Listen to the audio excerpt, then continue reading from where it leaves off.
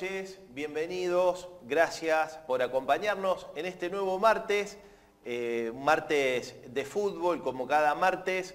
Ayer empató Newell's frente a Patronato en Paraná y después Central cayó 2 a 0 aquí en Rosario ante Aldo Civi. Hablaremos de los dos partidos, pero ya también nos meteremos con todo el equipo, con Ricardo Paradiso, con Juan Pablo de la Torre, con Nano Sanguinetti y con Roberto Seifer en los partidos del viernes, porque ya, ya, dentro de pocas horas eh, están las dos revanchas para los dos clubes de la ciudad, Central enfrentando a Sarmiento en Junín y Newell's en su cancha recibiendo a Platense, el equipo que dirige Madelón.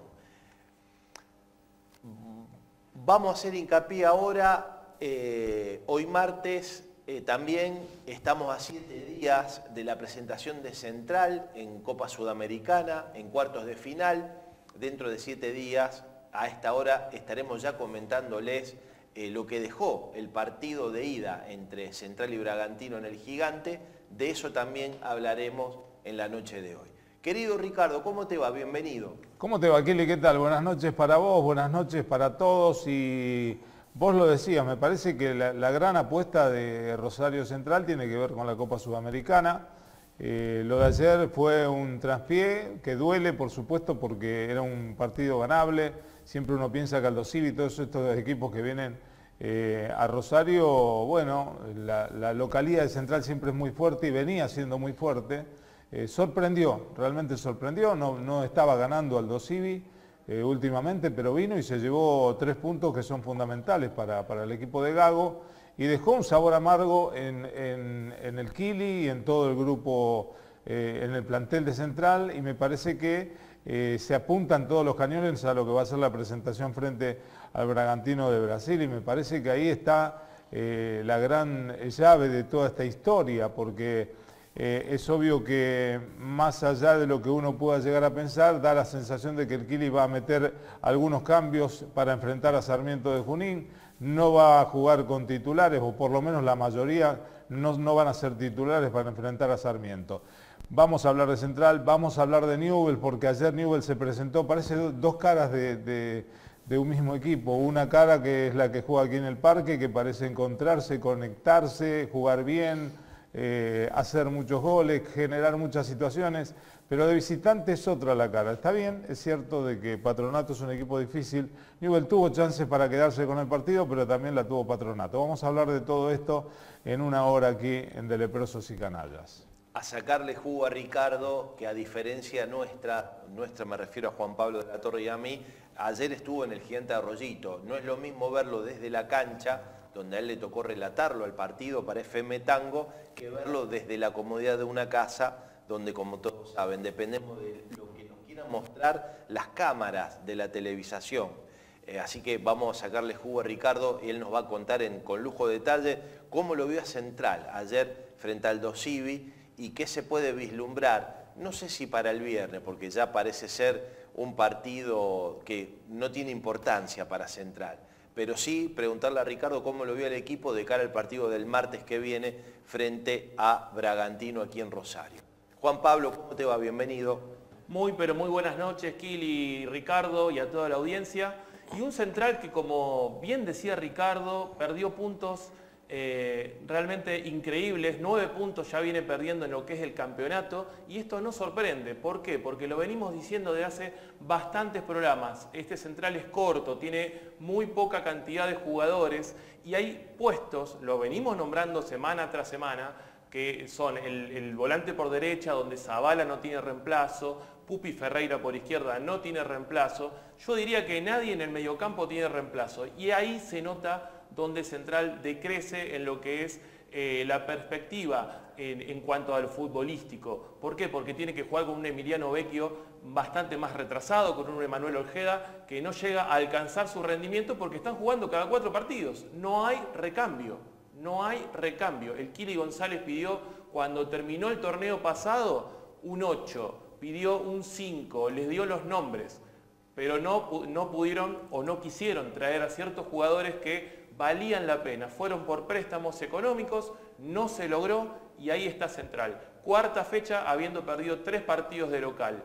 Ahora se juega obviamente todas las fichas a Bragantino, a la Sudamericana, pero no hay que descuidar el torneo local va con suplente frente a Sarmiento de Junín y eso puede significar demasiada ventaja cuando este torneo recién comienza. No va a haber descenso, pero se va sumando para lo que son la tabla de los promedios. Así que creo que hay que darle un punto al técnico que se está arreglando con lo que tiene. Le trajeron jugadores como Michael Covea, que no puede jugar la Sudamericana, como Ricardo Garay, que va a estar debutando recién el viernes, después de estar una semana trabajando en contraturno también como Leandro de Sábato, que tuvo una práctica y se lesionó. Entonces, se está arreglando con lo que tiene, no tiene dos equipos, hoy lo dijo Ricardo Carloni, muy pocos equipos en, la Argentina que tiene dos planteles. Central necesitaba ciertos jugadores, sobre todo en lo que es el mediocampo, donde eh, se está yendo Rodrigo Villagra de, de este plantel. Por el lado de Newells, bueno, un Newells que logró un empate, el negro Gamboa dijo, fue un buen punto en un partido horrible, así lo calificó.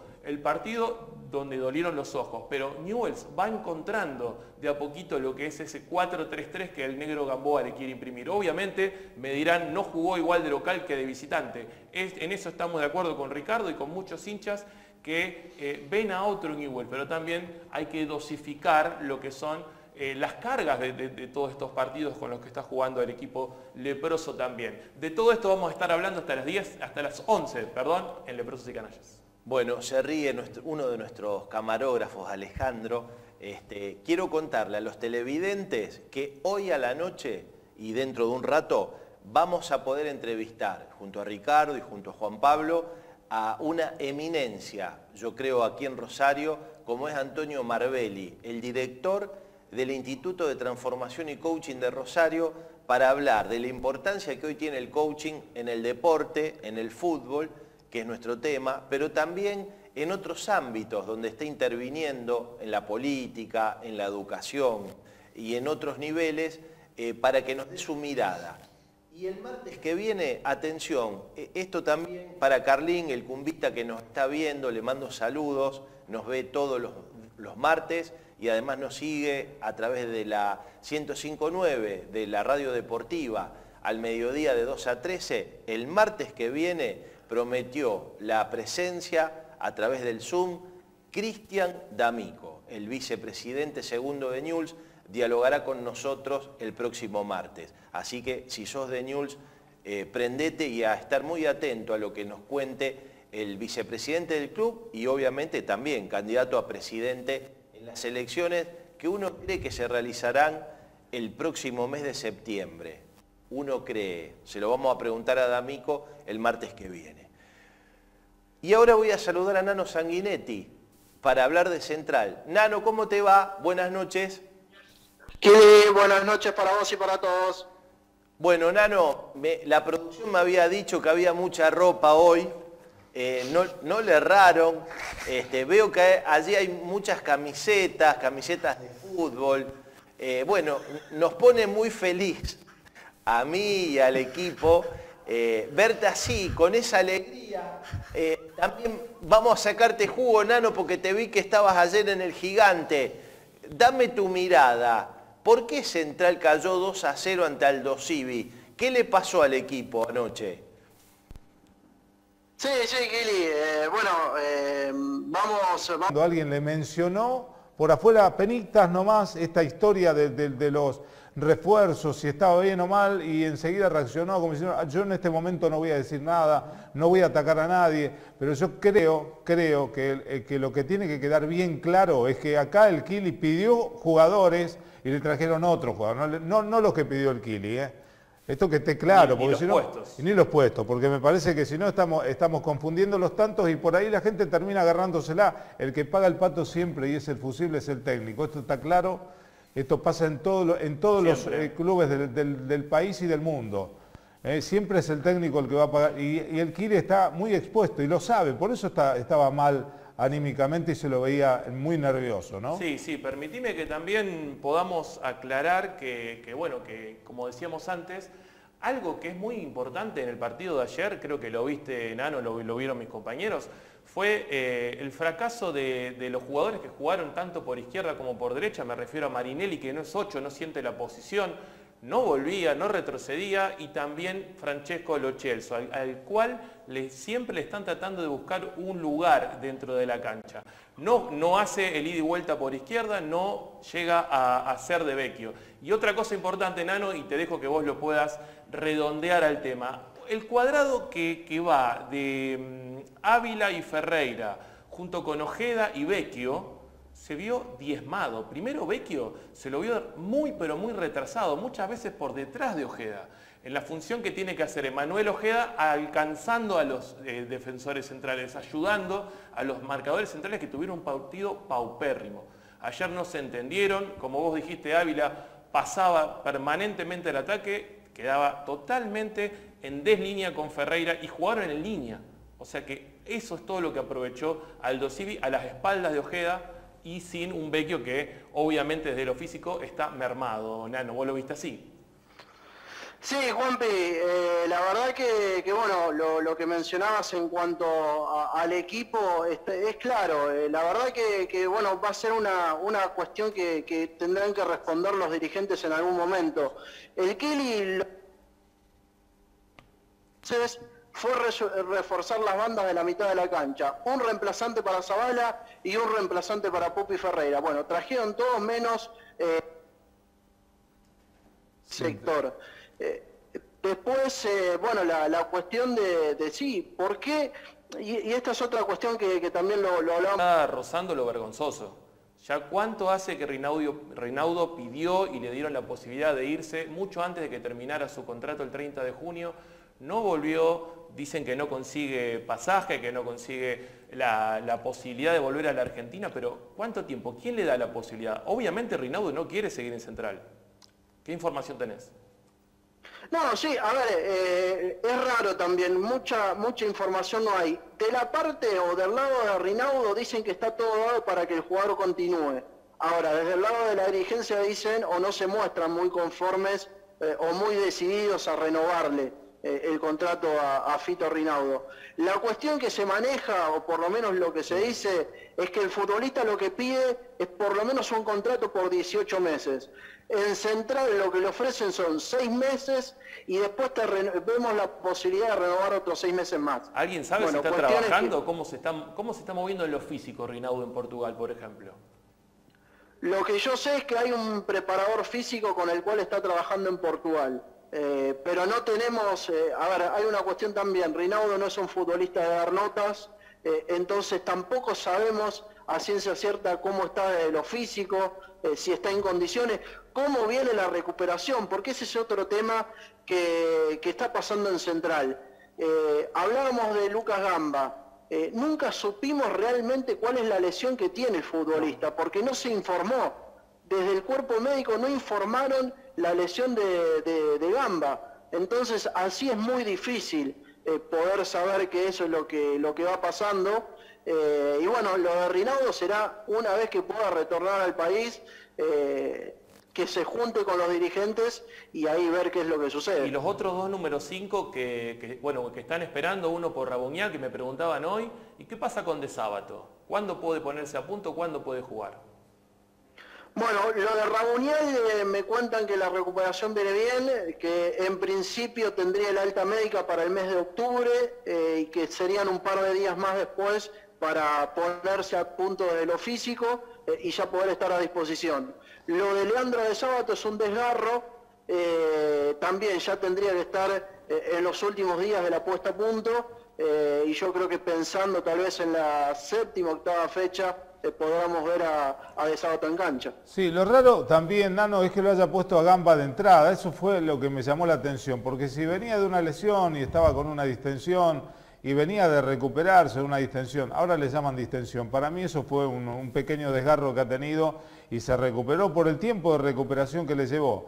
Ahora, eh, lo pone de entrada, hace el desgaste, estaba jugando bien Gamba, esto hay que decirlo, me parece que era de lo mejorcito que tenía Central adelante pero se lesiona inmediatamente. Entonces, es decir, todo, todo eso que vos esperaste para que se recupere el jugador lo tiraste por la borda en un segundo y ahora corres el riesgo de que Gamba no esté tampoco en el partido que más trascendencia tiene para Central, que es contra el Bragantino. Entonces, son situaciones que se van sumando. Mientras vos ganás, porque esto también es importante remarcarlo. Central le gana a Vélez con un gol sobre la hora y todo el mundo salió festejando y gritando y está todo bárbaro porque se ganó. Pero en realidad Vélez con 10 hombres fue más que Central, esa es la realidad. Eso es lo que hay que mencionar también. Entonces me parece que lo que hay que poner las cosas en claro. Este momento del Kili es un momento difícil. Hay que acompañarlo, hay que estar Central tiene, me parece, la gran obligación frente al Bragantino. Ahí está el partido, ahí está la clave de que esto pueda seguir adelante, que Central pueda salir.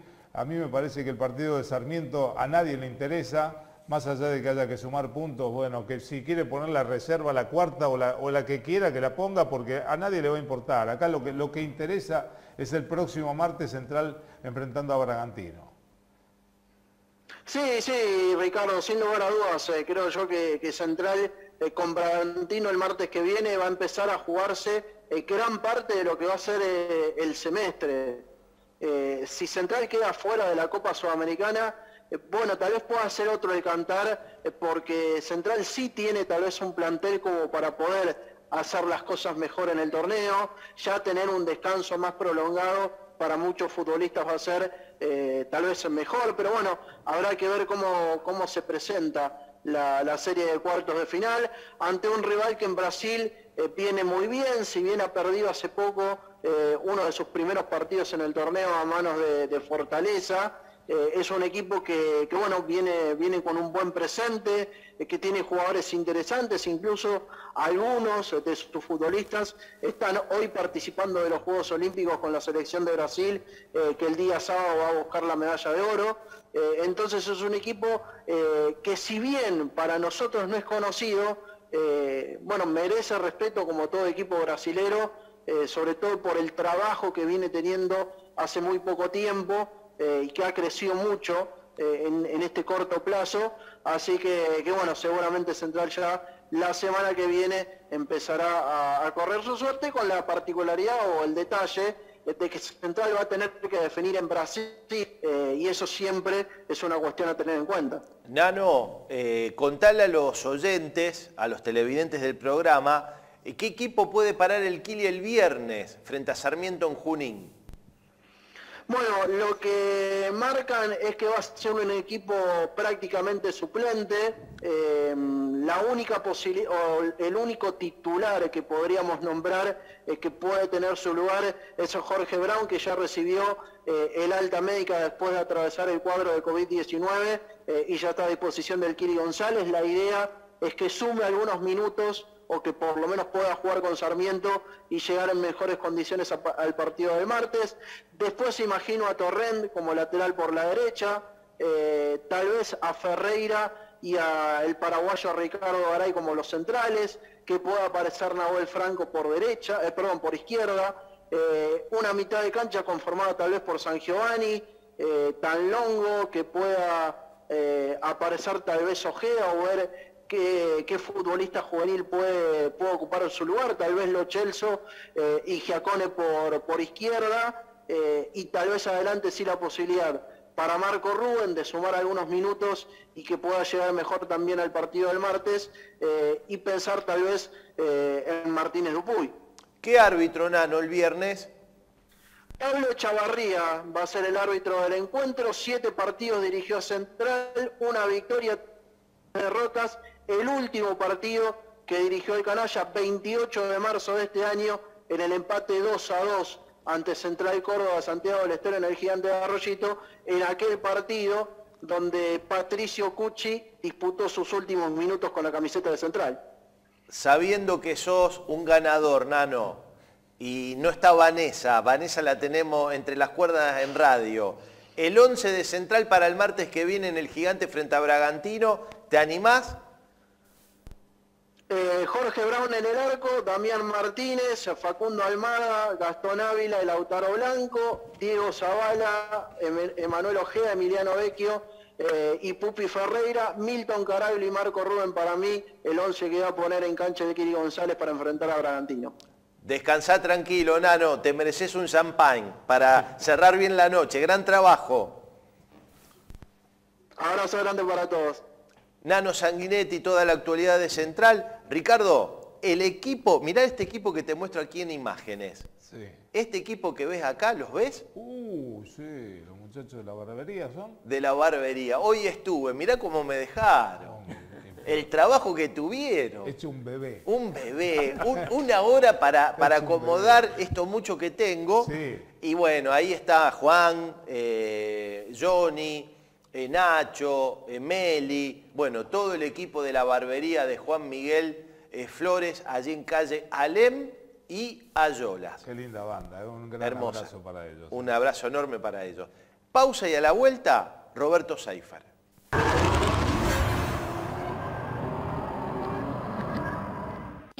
Frigomar, garantía de buen pollo. Frigorífico Marc llegó a tu ciudad con todas sus marcas. Pollos Coqui, Don Domingo y Granja San Pedro. Pollo entero, trozado y los nuevos productos rebozados Marc. Encontralos en nuestras 10 direcciones. En Rosario, San Martín 6449. Uriburu 1919. 27 de febrero 3642. Mendoza 7682. Wilde 785. Juan José Paso 6148. Y Baigorria 1751. También estamos en Villa Gobernador Galvez, San Martín 2422. En Granadero Baigorria, Avenida San Martín 2393. Y ahora en la localidad de San Lorenzo, Avenida Presidente Perón 2767. Frigomar, Frigomar. En Sancor Seguros cumplimos 75 años comprometidos con nuestros clientes. Y esa fue y es la base de cada uno de nuestros logros, de nuestra expansión, de nuestro liderazgo indiscutido. Y es lo que nos lleva a innovar para estar siempre un paso adelante. De eso se trata comprometerse, de cumplir años, cumpliendo. Sancor Seguros. Estamos hace 75 años con vos. Estamos. Chevrocon, el mayor stock. Repuestos originales y alternativos Chevrolet, Isuzu, Honda, Suzuki, Toyota, Kia, Chevrocon. Mitre y La Paz. Teléfono 481-9723. Kremer, materiales eléctricos e iluminación para el hogar, la construcción y la industria. Kremer, San Martín 1935. Para tu auto, especialistas Ismael Alvarado e Hijo, un taller familiar con más de medio siglo en la reparación de tren delantero, dirección y frenos. Responsabilidad, experiencia. Somos pioneros en el rubro. Cerrito 1342.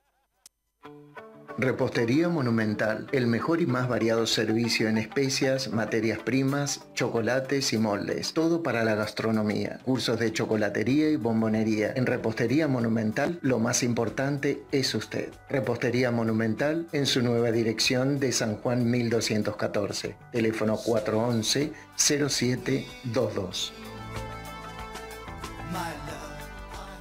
Balanmac, balanzas electrónicas, ventas, fiscales, insumos, servicio técnico oficial de las principales marcas. Visite nuestra web www.balanmac.com. Estamos en nuestro nuevo local, Pasco 1236, teléfono 482 3893. Rubén Valerio, una empresa con más de 30 años de experiencia en el mercado inmobiliario, inmuebles en todos los segmentos, en venta o alquiler, tasaciones, asesoramiento, gestión de desarrollos. Rubén Valerio, Hilarión de la Quintana 495, teléfono 463-9989. Burbujas Pet Shop, todo para su mascota. El mejor precio y calidad en alimentos balanceados. Envíos a domicilio. Chacabuco, esquina Gaboto. Teléfono 482-7056.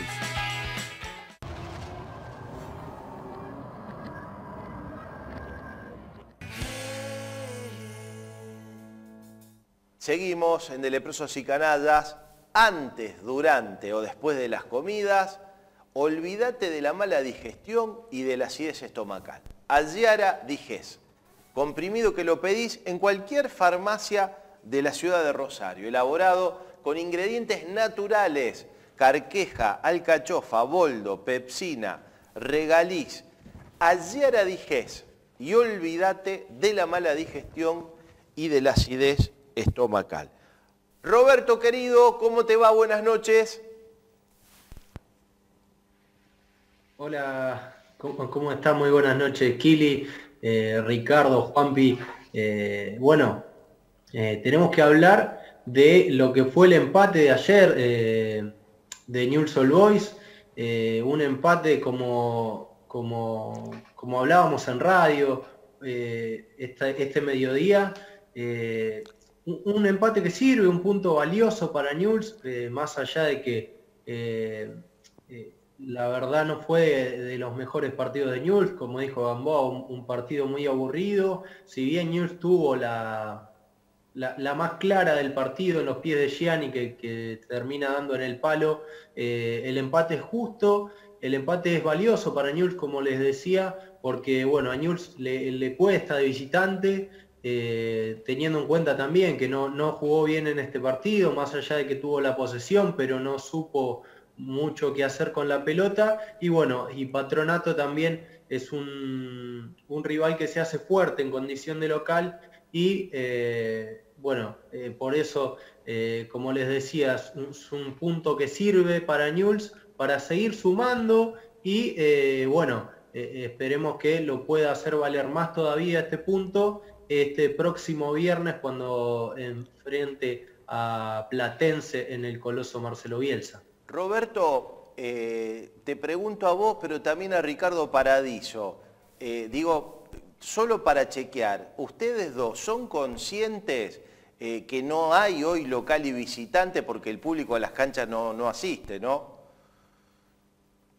Sí, Kili, sí, sí, pero más allá de, por supuesto, obviamente que esto de la localía es, es mucho menor teniendo en cuenta que no hay público, pero eh, eh, el, el terreno de juego ya pasa mucho también eh, eh, en la cancha de argentinos, eh, por ejemplo, las dimensiones del terreno de juego, la costumbre también, eh, y el hecho de jugar en tu propia casa marca cierta diferencia a pesar de que sigue, de que es mucho menor, por supuesto, eh, por el hecho de no tener eh, eh, público en las tribunas, porque bueno, también hablamos de, la cancha de patronato, que no es un, un- estadio donde haya gran cantidad de, público cuando patronato eh, y, y en el momento en que la gente podía ir a la cancha, eh, claramente no explotaba el estadio, eh, pero como sí lo hace eh, Newell's en su cancha, y bueno, eso es algo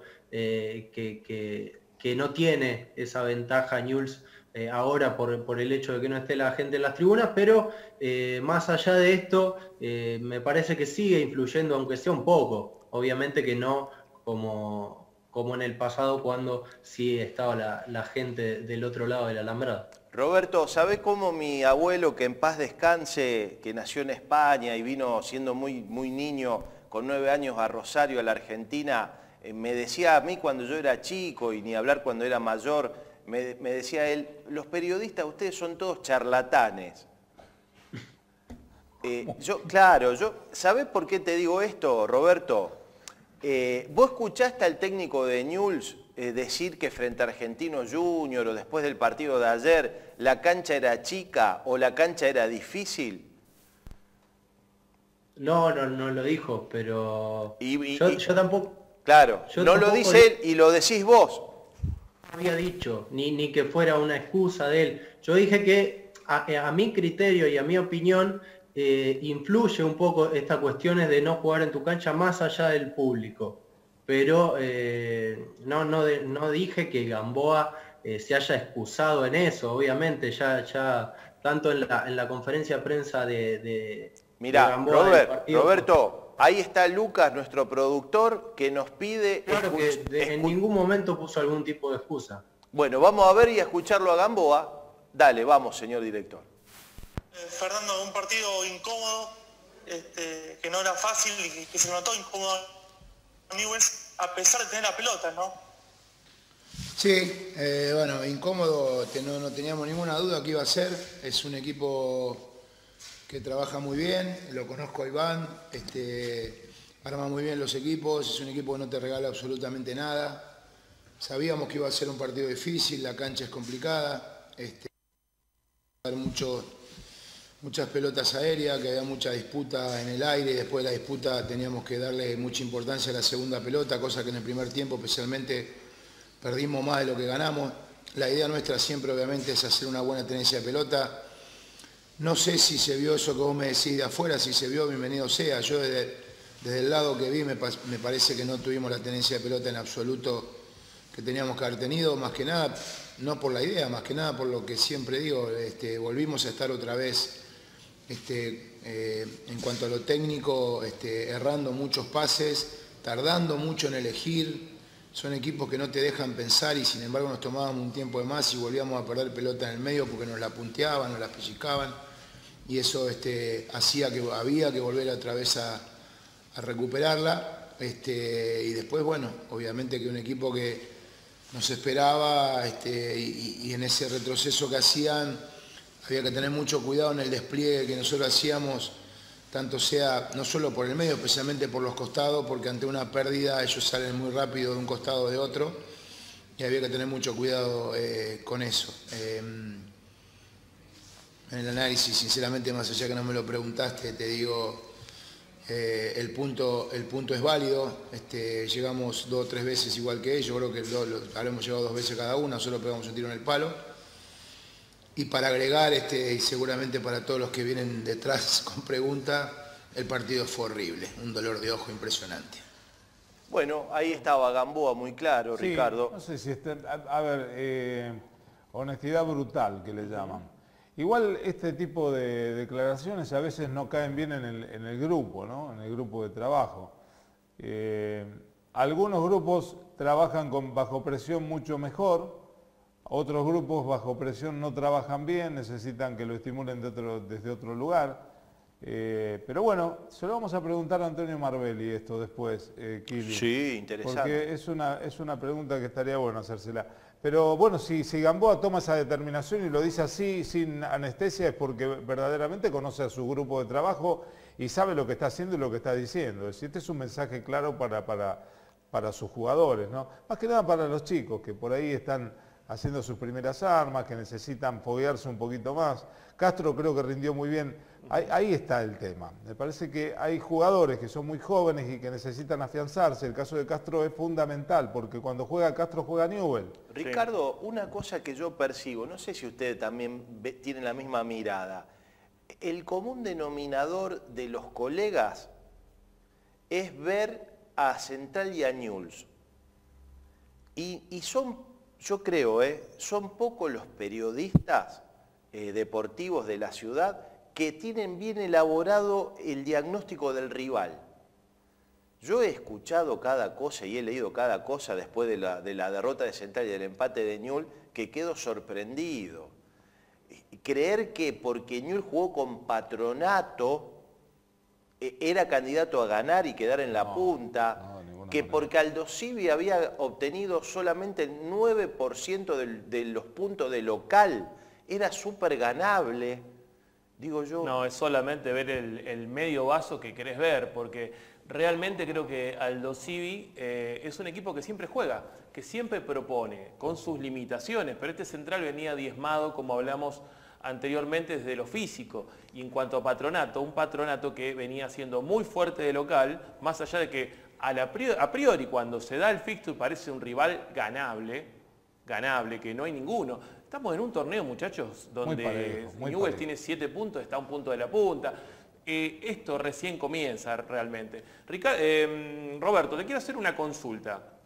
Respecto al tema de, eh, de Franco Negri y de Mancilla, de Facundo Mancilla, un lugar por la izquierda donde Gamboa pidió a, un jugador y vino Canale o está viniendo Canale a la Argentina.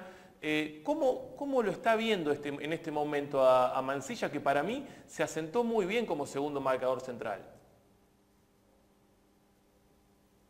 Eh, sí, eh, más allá de, la llegada de Canales, que bueno, en estos momentos está terminando de- de resolver su situación para poder llegar al país, eh, más allá de eso, eh, Mancilla ha demostrado buenos rendimientos en estos partidos y, de ninguna manera Canales llegó para desplazar eh, a, a Mancilla de, ese puesto, pero sí necesitaba una variante y bueno, es eh, bueno y sano para, para y para, para, la defensa, para el plantel de Gamboa, que Mansilla, más allá de estos buenos rendimientos, eh, tenga esa competencia y por supuesto para elevar el nivel. en el caso de que Canales llegue y esté y Gamboa lo considere que esté en un mejor nivel, jugará Canales, pero en este momento Mansilla está acompañando muy bien a Cristian Lema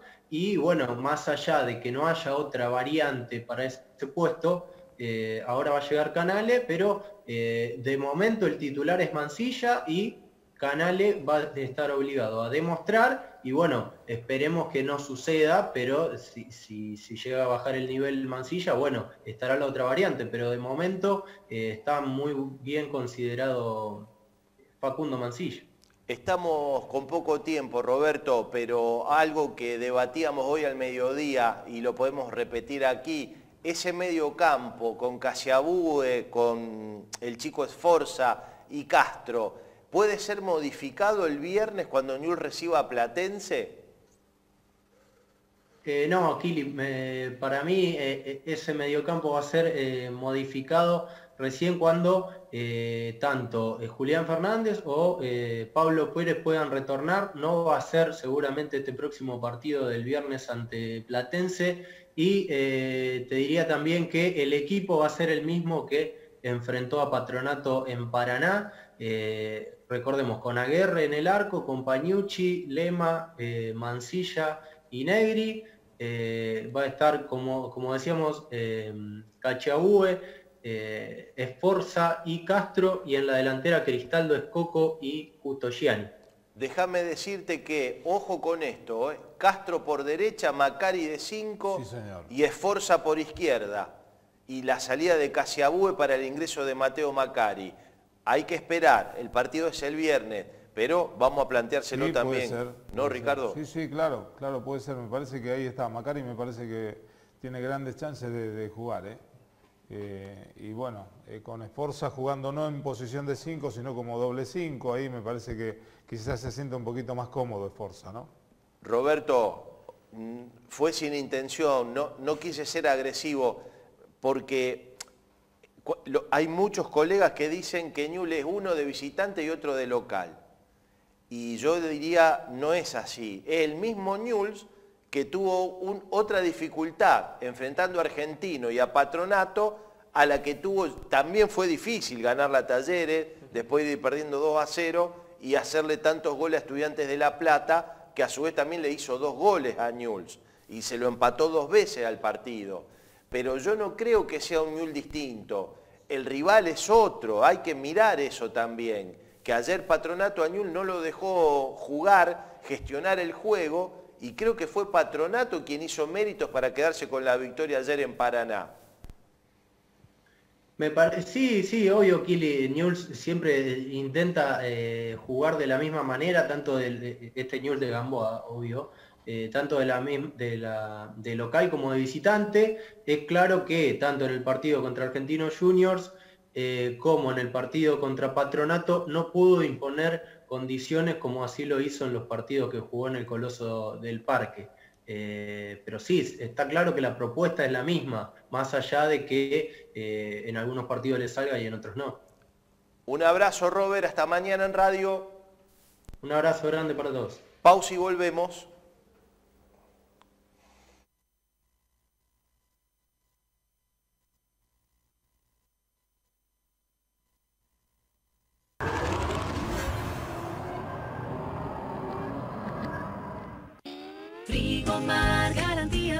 Garantía de buen pollo. Frigorífico Marc llegó a tu ciudad con todas sus marcas. Pollos Coqui, Don Domingo y Granja San Pedro. Pollo entero, trozado y los nuevos productos rebozados Marc. Encontralos en nuestras 10 direcciones. En Rosario, San Martín 6449. Uriburu 1919. 27 de febrero 3642. Mendoza 7682. Wilde 785. Juan José Paso 6148. Y Baigorria 1750 451. También estamos en Villa Gobernador Galvez, San Martín 2422. En Granadero Begorria, Avenida San Martín 2393. Y ahora en la localidad de San Lorenzo, Avenida Presidente Perón 2767. Frigomark, Frigomark. En Sancor Seguros cumplimos 75 años comprometidos con nuestros clientes. Y esa fue y es la base de cada uno de nuestros logros, de nuestra expansión, de nuestro liderazgo indiscutido. Y es lo que nos lleva a innovar para estar siempre un paso adelante. De eso se trata comprometerse, de cumplir años, cumpliendo. Sancor Seguros. Estamos hace 75 años con vos. Estamos. Chevrocon, el mayor stock. Repuestos originales y alternativos Chevrolet, Isuzu, Honda, Suzuki, Toyota, Kia, Chevrocon. Mitre y La Paz. Teléfono 481-9723. Kremer, materiales eléctricos e iluminación para el hogar, la construcción y la industria. Kremer, San Martín 1935. Para tu auto, especialistas Ismael Alvarado e Hijo, un taller familiar con más de medio siglo en la reparación de tren delantero, dirección y frenos. Responsabilidad, experiencia. Somos pioneros en el rubro. Cerrito 1342. Repostería Monumental, el mejor y más variado servicio en especias, materias primas, chocolates y moldes. Todo para la gastronomía. Cursos de chocolatería y bombonería. En Repostería Monumental, lo más importante es usted. Repostería Monumental en su nueva dirección de San Juan 1214. Teléfono 411-0722. Balanmac, balanzas electrónicas, ventas, fiscales, insumos, servicio técnico oficial de las principales marcas. Visite nuestra web www.balanmac.com. Estamos en nuestro nuevo local, Pasco 1236, teléfono 482 3893. Rubén Valerio, una empresa con más de 30 años de experiencia en el mercado inmobiliario, inmuebles en todos los segmentos, en venta o alquiler, tasaciones, asesoramiento, gestión de desarrollos. Rubén Valerio, Hilarión de la Quintana 495, teléfono 463-9989. Burbujas Pet Shop, todo para su mascota. El mejor precio y calidad en alimentos balanceados. Envíos a domicilio. Chacabuco, esquina Gaboto. Teléfono 482-7056.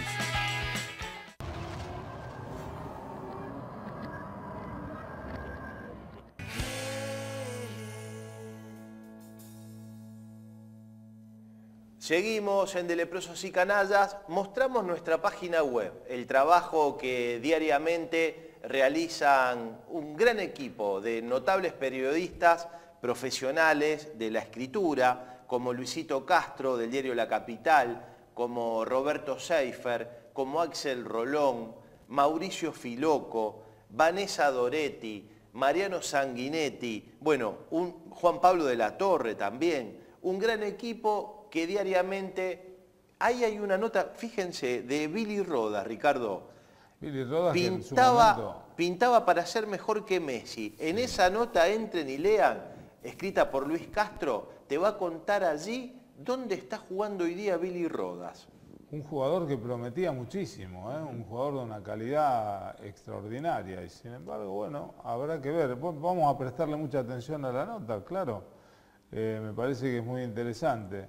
Voy a saludar a Antonio Marbelli, un gran coach, pero además una excelente persona, un gran ser humano. Hoy cuando les contaba a todos los compañeros y alumnos de la carrera de coaching ontológico que cursamos allí en el ITC, todos le mandaban saludos para Tony y muchos de ellos están viendo el programa solo por la presencia de este, de ser humano extraordinario y coach ni hablar. Querido Tony, qué placer poder conversar contigo. ¿Cómo te va? Buenas noches. ¿Cómo estás? Buenas noches. Un gusto y gracias por, por la presentación y gracias por, por la invitación.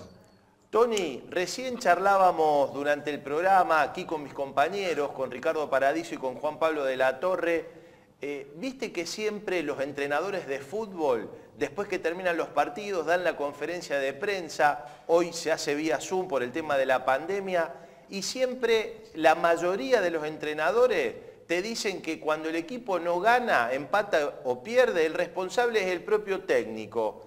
No hace hincapié en que pudo haber fallado un futbolista, o, siempre se, se autoculpa él de por qué el equipo no ganó. Pero ayer nos llamó mucho la atención, y esta es la primera pregunta que por lo menos yo te quiero hacer, cuando el técnico de Newell's dijo, el equipo fue un espanto, fue un dolor de ojos. Eh, ¿Cómo toma el futbolista una declaración pública de este tipo, crees? Eh, una, cosa es el deportista que, digamos, toma la declaración que, influyó en un, en un resultado, y ya de por sí hay una sensación, un sentimiento de carga, de culpa, que aparece por el, por el resultado en sí. Ahora, mm, tal vez la declaración del técnico pueda llevar hacia dos lugares, ¿no? En un lado puede llevar a que el, jugador se pregunte, se plantee, y por otro lado puede llevar a que el, jugador se cierre ¿sí? y, no, no, no, no permita el trabajo que hace falta hacer para que ese jugador se supere. Digo, hoy en el ámbito profesional, digamos, eh, sería bueno poder tener las conversaciones en el estándar y el nivel que hacen falta para, para observar los detalles que nos pueden faltar. Incluso viendo también que los equipos entran en contextos emocionales que hacen que a lo mejor un mismo equipo en un partido funciona armoniosamente, organizado, y que en el otro partido funciona totalmente desorganizado, desconcentrado. Entonces, eh, que, el técnico haga una declaración puede ser favorable como puede ser algo perjudicial. En este caso, eh, Gamboa en este caso habrá definido, habrá visto, habrá observado que esto puede le permite sacudir al equipo, mover al equipo y, cómo tomar conciencia, digamos. Es una, es una evaluación muy particular que después hay que sostenerla, ¿no? Antonio, eh, Ricardo Paradiso te saluda, ¿cómo te va? Buenas noches. ¿Cómo está, Ricardo?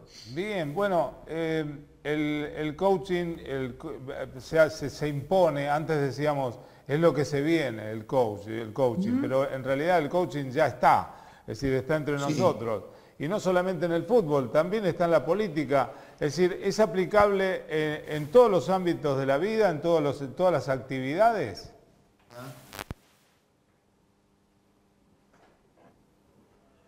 No sé si me, alcanzaste a escuchar. No, la pregunta no la escuché, entendí, o sea, tanto en el coaching, en el deporte, en la política, en las empresas, en diferentes lados, pero digo, ¿qué, ¿cuál era la pregunta? Y la, pregunta es, es, decir, ¿es aplicable el coaching en todos los eh, aspectos de la vida, eh, de la vida del ser humano, no? No.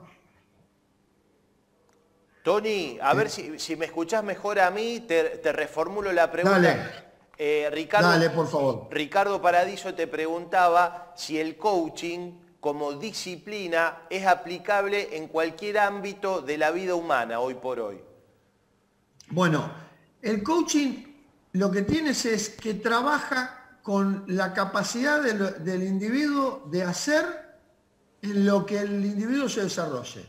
Porque el coaching, el coaching ontológico fundamentalmente, tiene como, objeto fundamental la manera de, de, la relación de los seres humanos con lo que hacen, con lo que saben, con lo que se desarrollan. Por lo tanto, trabajamos en su capacidad interpretativa y de relacionarse con el mundo que se maneja. Nosotros podemos trabajar como coaches no con cualquier tema, podemos trabajar con cualquier ser humano que lleva adelante cualquier tema. Y en eso sí tenemos competencia. Por supuesto que como toda, como toda profesión ha habido a lo largo, puede llevar a cabo en el ámbito que se desenvuelva, deportivo, empresarial, político, Antonio, buenas noches. Juan Pablo de la Torre, ¿cómo te va? Buenas noches, Juan Pablo. Encantado. Te hago una consulta muy, pero muy futbolera. ¿Qué pasa en la situación del típico 2 a 0 cuando un equipo va ganando, que se dice habitualmente que es el peor resultado? ¿Por qué en la mente del jugador tiende como a relajarse. ¿Eso eh, es una interpretación de una mente poco ganadora desde tu punto de vista? en sí, digamos, no tiene que ver con una mente ganadora o no ganadora. Tiene que ver con que hay una, una manera de leer, por ejemplo, el resultado que llevaba... Eh, eh, siempre puede haber una respuesta, digamos, eh, favorable cuando vas perdiendo y el que va perdiendo o saca las garras o se rinde. El que va... Tiempo sí te quiero sacar la promesa de poder tenerte otro martes con más tiempo para charlar de estos temas tan apasionantes. Dale, no hay problema. Te mando un, gran abrazo, Tony. Un, abrazo grande, gracias a ustedes. Antonio Marbelli, el director del ITC, junto a Gaby Greco, eh, destacado hombre de la ciudad de Rosario, allí se capacitan año tras año miles y miles de rosarinos. Ricardo, ¿nos vamos? Nos vamos, ya no nos queda más tiempo, así que por eh, su compañía, como siempre, muchísimas gracias. Y la cita es el próximo martes 10 de la noche, aquí en De Leprosos y Canallas. Chao, gracias por todo.